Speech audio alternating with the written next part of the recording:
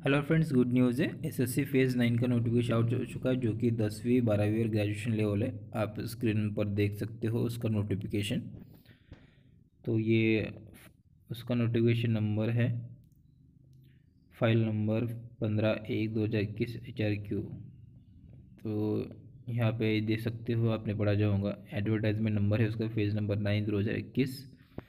इसका date of online application है चौबीस नौ दो हज़ार इक्कीस से लेके पच्चीस दस दो हज़ार इक्कीस। ये इसकी लास्ट है। रिसिप्ट ऑफ़ एप्लीकेशन करना है अपने को पच्चीस दस दो हज़ार इक्कीस के। इस डेट तक अपने करना है। उसके बाद है ऑनलाइन पेमेंट करना है अट्ठाईस दस दो हज़ार इक्कीस तक। ऑफलाइन चालान भी भर सकते हो, जो कि उसी तारीख तक है अट्ठाईस दस दो हज़ार इक्कीस।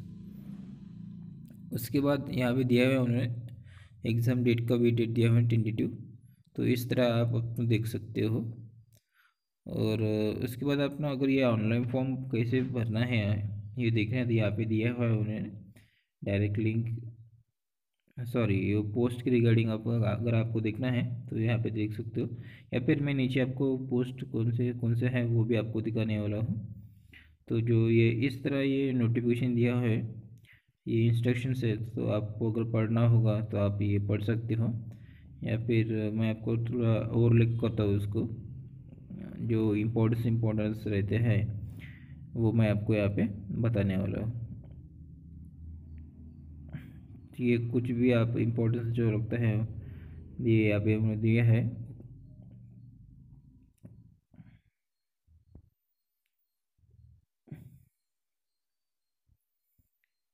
ये नेशनलिटी हमारी तो इंडिया होनी चाहिए।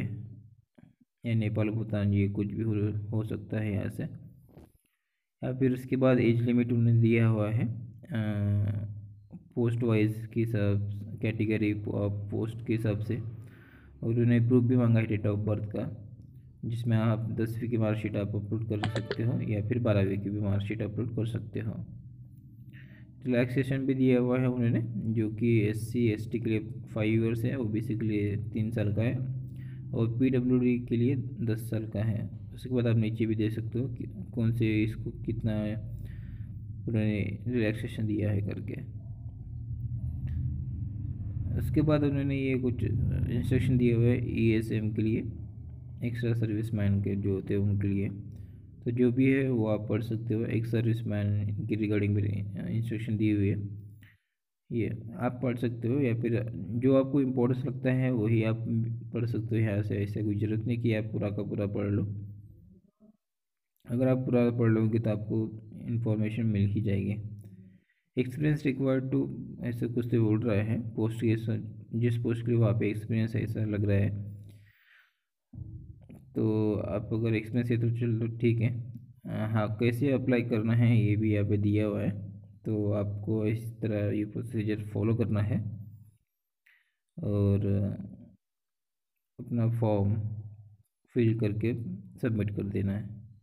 यहाँ पे एप्लीकेशन फ़ी है जो कि हंड्रेड रुपीज़ था। और लड़ वुमन और एस सी एस टी और P W D candidate ex serviceman को यहाँ पे एग्ज़ाम फ़ी नहीं लग रही है, उनको फ्री है। उसके बाद यहाँ पे सेंटर ऑफ़ एग्जामिनेशन दिए हुई है। आप सेंटर रीजन में हो तो सेंटर रीजन में कौन कौन से एग्ज़ाम सेंटर कोड आ रहे हैं, वो यहाँ पे दिया हुआ है।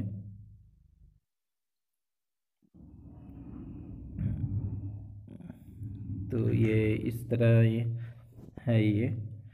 तो आप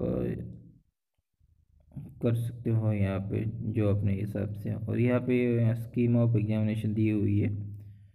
तो ये ध्यान में रखते हुए देख सकते हो नंबर ऑफ़ क्वेश्चंस और मैक्सिमम मार्क्स और total duration time sixty minute total time दिया हुआ है। हर इसमें पच्चीस क्वेश्चन होंगे और उसका डबल मार्क होगा यानी पचास मार्क और उसका नेगेटिव मार्किंग भी है जो कि zero point two zero point five zero है। इसके बाद ये कौन से पोस्ट सिलेबस कौन सा रहेगा वो दिया हुआ है। ये दसवीं प्लस बारहवीं का ये सिलेबस है। उसके बाद ग्रेजुएशन अबव लेवल का ये सिलेबस है, यहाँ पे देख सकते हो। इस तरह का उनका दिया हुआ है, general awareness quantitative aptitude. English language भी है उनको।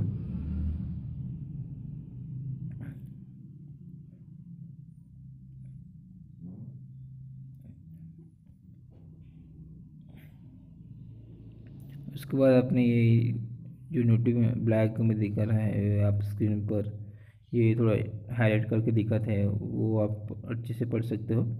यहाँ पे उन्होंने लिखा है कि ये आईडी प्रूफ है, या इसमें से कोई भी आप एड्रेस प्रूफ दिखा सकते हो। ये डॉक्यूमेंट वेरिफिकेशन का है, दिया हुआ उन्होंने। तो सिलेक्शन प्रोसीजर कैसा है, वो भी यहाँ पे दिया हुआ है उन्होंने, वो भी आप पढ़ सकते हो। उसके बाद कट ऑफ़ कितना है, कौन से पोस्ट के लिए, कौन सी कैटेगरी के लिए वो भी दिया था उन्होंने। तो आप नीचे नीचे ऐसे आ सकते हो यहाँ पे और अपना जो ये फॉर्म जो है ना इम्पोर्टेंस डिस इंस्ट्रक्शंस हैं वो आप यहाँ पे पढ़ सकते हो। अगर इसके रिगार्डिंग कोई भी आपको ज़रूरत पड़े तो मुझे कमेंट करें, मैं आपको बताता हूँ। और मैं ऑनलाइन फॉर्म में इसका कैसे फिल करना है, वो भी मैं आपको यहाँ पे बताऊँगा। तो इस चैनल को सब्सक्राइब करना ना भूलें और दिए हुए बेल आइकन को प्रेस करना ना भूलें, ताकि मेरे आने वाले वीडियो आप देख सके। और इसका ऑनलाइन फॉर्म कैसे भरना है, ये भी आप कैसे देख सके, ये आप और दोस्तों को भी शेयर करें ताकि उन्हें भी पता चले। तो आपको फ़ोटो अपलोड करना है तो ये जो ओके अलाउड है, उस तरह का आपको फ़ोटो अपलोड कर सकते हो। बाकी जो क्रॉस वाला है, उस तरह आप अपलोड नहीं कर सकते हो। तो इसके बाद ये ऑनलाइन फॉर्म कैसे भरना है, इसका डेमो यहाँ पे दिखा रहा हूँ मैं। तो ये इस तरह आप देख सकते हो कि फॉर्म रहेगा आपका और आप इसको इस तरह फिल कर सकते हो। और ये देख सकते हो, इस तरह आपको ये कुछ डॉक्यूमेंट्स की है, वो आप और ये पोस्ट कौन से रीजन में, कौन सा पोस्ट है, कौन से डिपार्टमेंट में है, उसकी एज लिमिट क्या है, इसका पे स्केल क्या है, वो सब यहाँ पे दिया हुआ है तो आप ये देख सकते हो, यहाँ पे।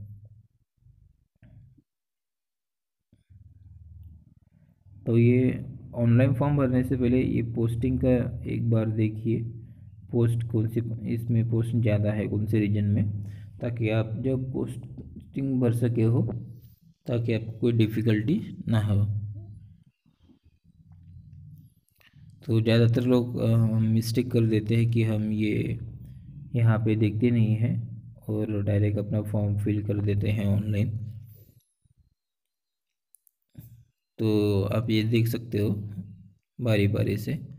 तो अगर आपको ये वीडियो पसंद आया तो सब्सक्राइब करना ना भूले और साथ ही बेल आइकन को प्रेस करना ना भूले ताकि मेरा आने वाले वीडियो देख सके और इसका ऑनलाइन फॉर्म कैसे फिल करना है ये भी मैं अपलोड दिखाने वाला हूँ। तो वो वीडियो आपको मिल सके और आपको जानकारी उसकी मिल सके। तो बेल आइकन को प्रेस करना ना भूलें और लाइक भी करिए। और दोस्तों को भी शेयर करें ताकि उन्हें भी पता चले। तो ये बहुत बड़ी अपॉर्चुनिटी है सभी को कि आप अपना ये एसएससी फ़ेज़ नाइन का नोटिफिकेशन आ चुका है। तो आप दसवीं, बारहवीं और ग्रेजुएशन लेवल जो भी स्टूडेंट्स हैं, वो ये फॉर्म भर सकते हो।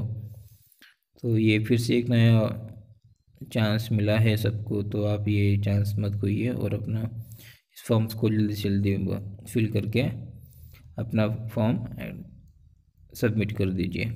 तो इस वीडियो में इतना ही कहूँगा। तो अगले वीडियो में मिलते हैं किसी और नए वीडियो के साथ।